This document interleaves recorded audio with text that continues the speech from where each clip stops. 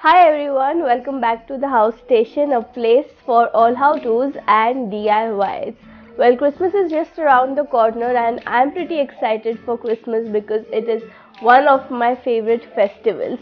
And Christmas means a fun festivity, celebration, friends, family, right? So we have so many people coming down to our house to celebrate Christmas and we give them lovely treats and we have so many things to eat and so on. And when we sit on the table, I like my table to be really good looking, you know, with filled with all these delicacies and it should be decorated well, right? I hope that you all feel the same so today uh, in today's DIY I'm going to show you how to make these lovely flowers that you can see right here. Aren't they very pretty? And if you keep this on the center of your table this will be the main attraction. No actually after the delicacies this will be the second main attraction. So if you guys are interested in seeing how to make these flowers these lovely beautiful flowers just let me remove one and show it to you yeah so this is my favorite one so I'll just take this out. Yeah so you see these lovely flowers I'm going to show you how to make these. So if you're interested in seeing how to make it then keep watching the video. Okay so my first flower is a crepe flower. Now here I have double shaded crepe paper. That is the front side is a lighter shade and the back is a darker shade and I'm going to make four layers in my flowers. So I'll be using two crepe papers which will give me four shades. That is pale yellow, yellow, orange and dark orange. Now it depends on how many layers you're going to make. If you want to make two layers you can use two shades. And if you're going to make three layers you can use three shades. And you know like so on. You can use the shades accordingly so for my flower I am going to use 6 petals of each color. So now here I am cutting the strips accordingly. My strips will be 1.5 centimeters wide and 3 centimeters long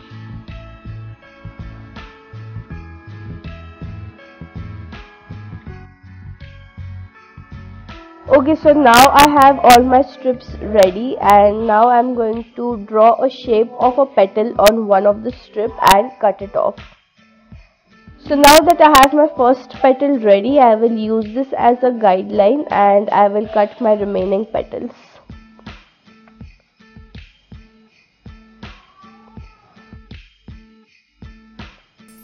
So here as you can see I've cut all the strips into petals and now I will start stretching them out.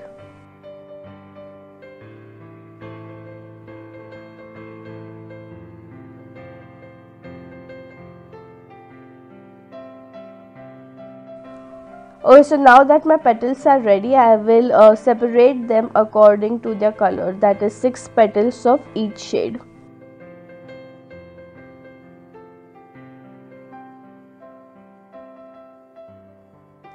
And now it is time to get working on the stem. For the stem I'm using a hard wire. So what I'll do is I will take my pollen seeds and wrap them around my hard wire and then secure it with a thread. So now that my pollen seeds are on my wire I will wrap the whole wire with floral tape. So what I'm doing is I'm just going to place it here on the top and then I'll go to the bottom and once this is done I will start placing my first layer of petals which is the pale yellow color. So the pale yellow color will be facing inwards. So now what I'll do is I'll place the first petal and I'll secure it with a thread and continue doing so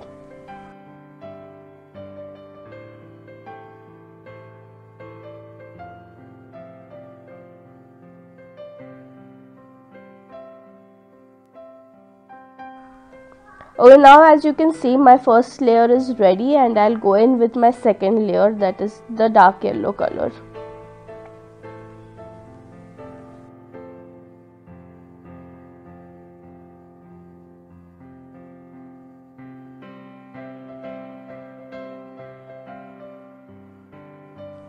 Now the third layer that is the orange color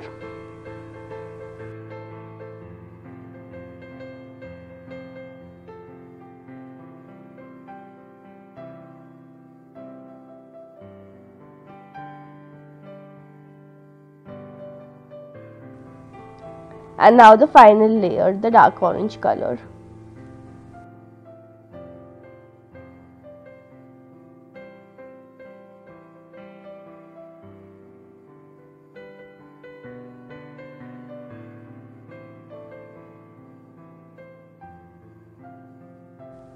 So now that I have all my petals on my stem, I will spread them a bit with my fingers and then I'll take a piece of floral tape and cover all the threads with it.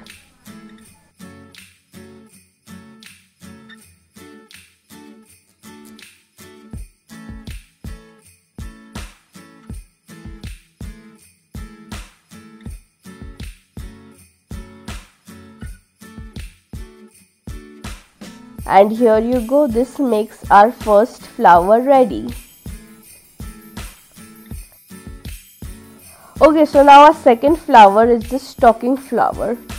So for that I am using stocking cloth and flexible wire. So I'll first I'll make a rough shape of a petal on the wire to measure approximately how much wire I will require for each petal. And now that I'm happy with the shape I will cut six pieces of the flexible wire uh, like using this as a guideline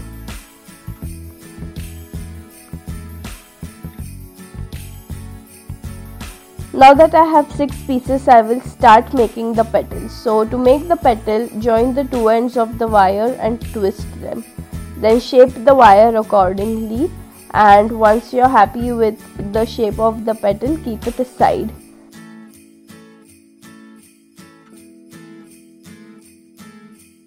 Now cut 6 pieces out of the stocking cloth and the stocking cloth stretches out much so do not waste much uh, by cutting big pieces. Okay just cut small small pieces.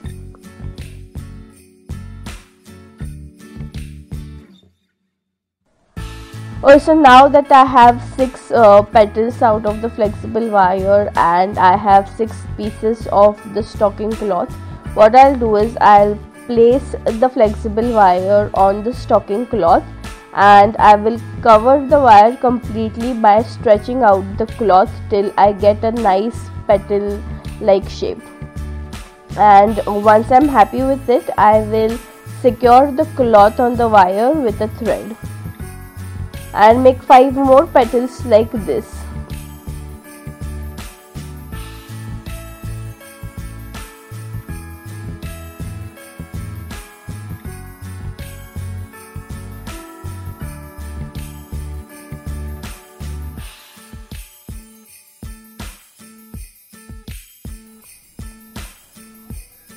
okay so now that I have my petals ready it is time to place them on the hard wire.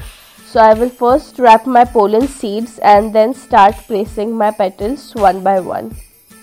Now if there is any extra cloth on the petals you can trim it off before placing the petal on the stem. And then start wrapping the petals one by one on the stem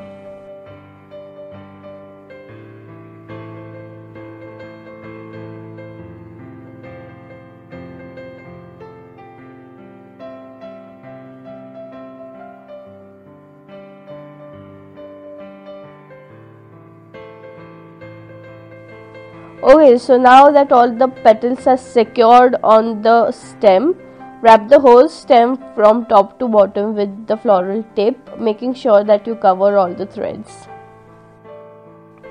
And here you have it. Your second flower is also ready So now I have made three flowers, two of which I've showed you and one is a rose. Now I've already made a video on how to make a rose. So all you have to do is click on this rose and it will direct you to that video or you can even click on the link in the description box. Okay so now make some more flowers like these. I've made 9 flowers using red, pink and orange color and the last thing left to do is place them in a container or a flower pot. Once that is done you have your center table decor. Aren't they lovely i love them so much. And i'm sure that when you make them you love them too because they are just so pretty. I'll just stop admiring them because i can go on forever and ever so i just keep it aside and did you all enjoy watching the video if you all did don't forget to give this video a thumbs up and do not forget to comment in the comment box below how did you feel this video was and which flower was your favorite also do not forget to subscribe to my channel because every week I'll be showing you some easy and inexpensive how-tos and DIYs. I'll see you guys in my next video. Bye.